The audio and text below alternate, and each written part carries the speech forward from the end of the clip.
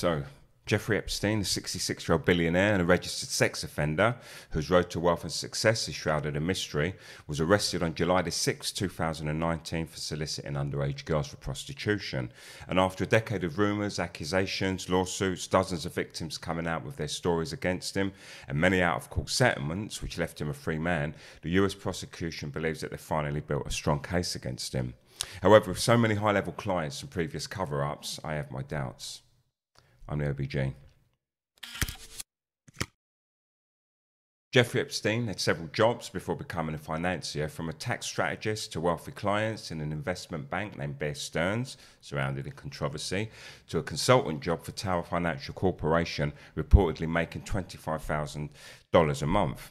His first company was a consulting company named International Assets Incorporated, and in 1987 he founded a new financial ma- management company named J. Epstein & Co., with managing the capital of wealthy clients with no less than 1 billion US dollars net worth as a company's main activity.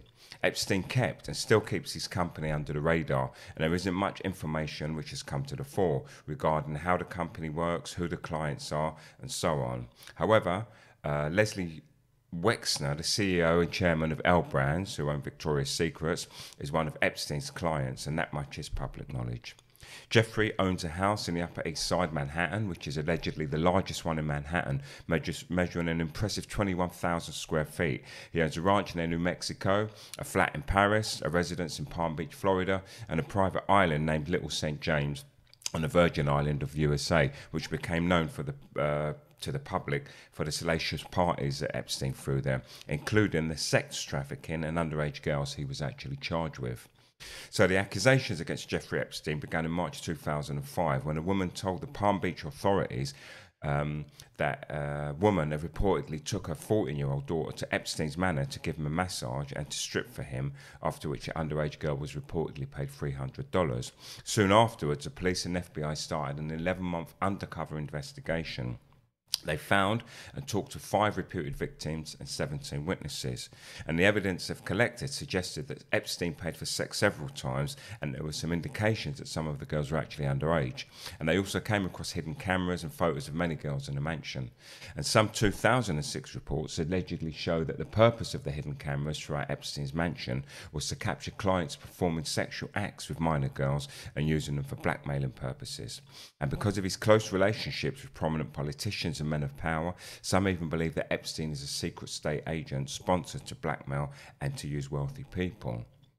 According to the evidence and the probable cause affidavit that the Palm Beach police filed, Epstein was about to be charged with four counts for sex with underage girls, as well as a molestation count.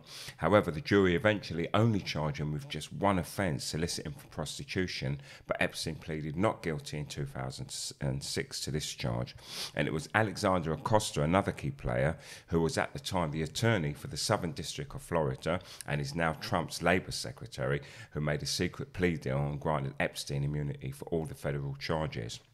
Acosta stated that he was allegedly instructed to do so because Epstein was part of the intelligence which closed the investigation. And that's another clue that suggests that Epstein worked as a state agent blackmailing people. So instead, in 2008, Jeffrey Epstein pleaded guilty to one prostitution charge and was sentenced to prison for a duration of 18 months. And to further add to the controversy and the privileged deal that Epstein received, he had his own private wing in the Palm Beach County Jail with his own security, unlike most of the Florida sex offenders who are usually put in the state prison.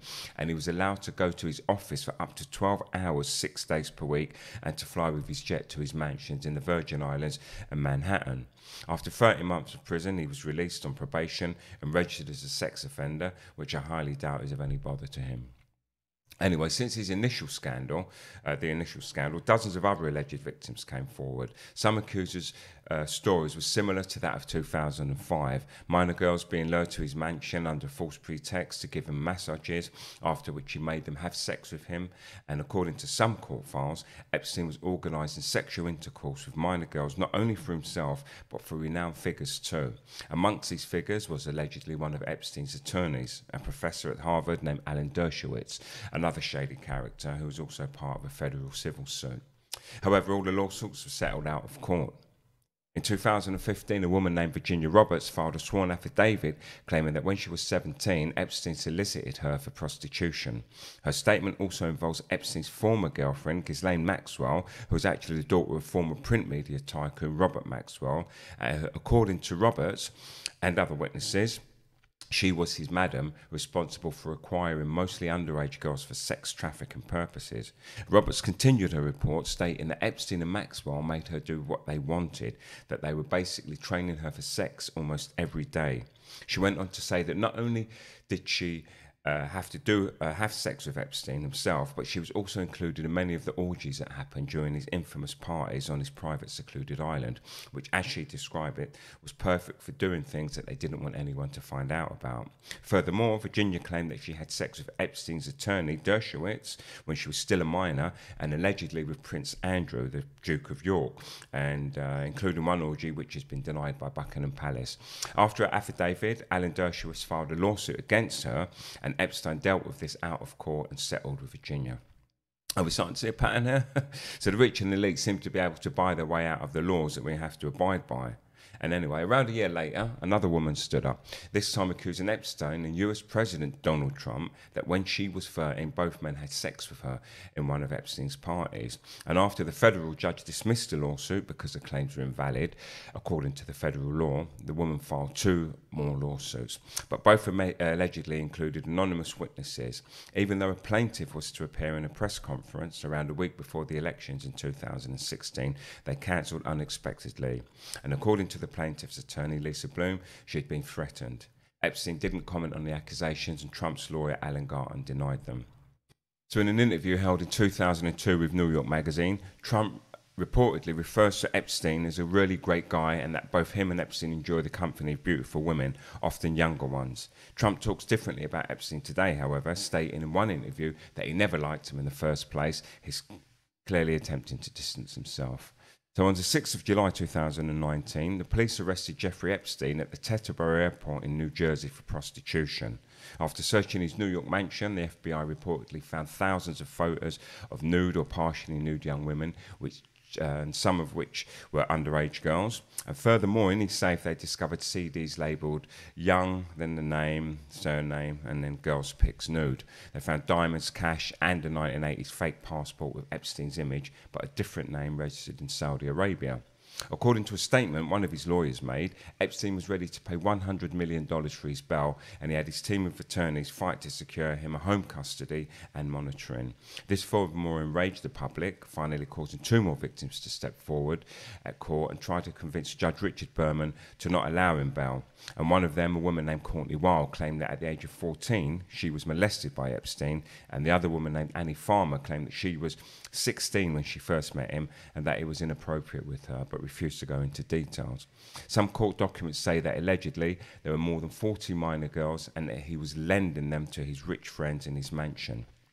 Epstein's arrest has caused quite a storm in the public and across all media.